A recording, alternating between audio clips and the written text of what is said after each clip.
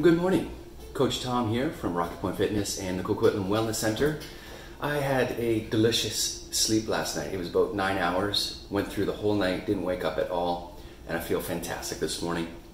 Um, I just want to do one more little talk here on the sleep series as we wrap up our sleep challenge. Uh, we will be doing it again at some point in the near future. But I just want to leave you with um, seven tips. Seven tips to help you get to sleep at a good time every night, how to fall asleep quickly, and how to stay asleep and hopefully get that eight to nine to 10 hours. Is that possible? Anyway, here's tip number one. And this one might be a little bit controversial, and that is avoid alcohol uh, before going to bed. And um, you know, these day and age, when it's quite stressful, you might be saying, "Well, it, it, helps me relax, helps me get to sleep." The thing is, is that alcohol um, doesn't help you get to sleep; it sedates you, and that's two different things: sedation and sleep. Uh, in deep sleep, or sorry, in a regular sleep, we have those stages of sleep uh, a light sleep, deep non rapid eye movement sleep, and rapid eye movement sleep. And what alcohol tends to do is fragment that sleep cycle so that you're not getting enough deep non REM sleep. And sometimes you're not even getting through a proper stage in the sleep cycle of deep sleep to achieve REM sleep. And you'll know if you've hit REM sleep because you'll have dreams, you'll have vivid dreams. And uh, people that do Sober October or Dry January, they'll, uh, they'll often complain, man, I'm having the craziest dreams right now. And that's great because that means your body is getting through that full cycle of sleep and achieving um, REM sleep where there is so many benefits and, and such a great importance into having enough uh, REM sleep. Anyway, uh, try to avoid the alcohol before going to bed. So you're saying I should day drink? Well, maybe we should all just kind of watch our drinking. Uh, number two, let's make this a rule. Uh, use the bed for sleeping and sex only.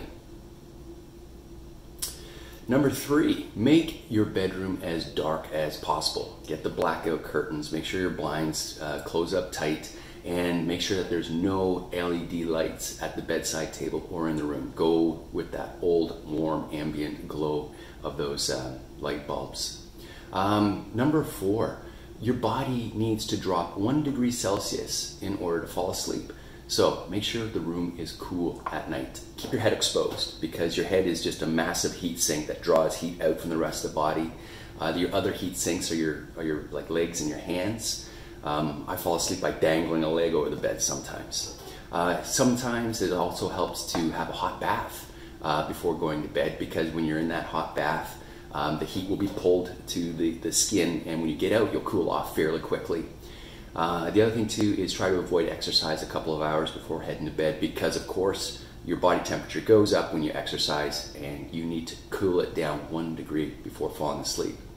Uh, number five, go to bed at the same time every night, and that includes weekends. Set yourself an alarm to go to bed.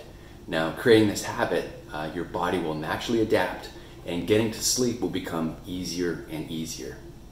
Six, if you are lying awake in bed, um, just don't lay there and think about, man, I'm not getting any sleep, and then, and then get stressed out. Just gently get out of bed and go do something that doesn't require a lot of cognitive ability until you feel the pressure of sleep coming on again. And seven, obviously, avoid caffeine in the afternoon and evening. And don't forget, Caffeine still exists in decaf, dark chocolate, ice cream, and many other delicious things that I like to eat in the evening. Ladies and gentlemen, thank you very much for uh, watching the sleep series. Uh, we hope to see you again real soon. Stay safe, stay healthy, blue skies, and get a good night's sleep.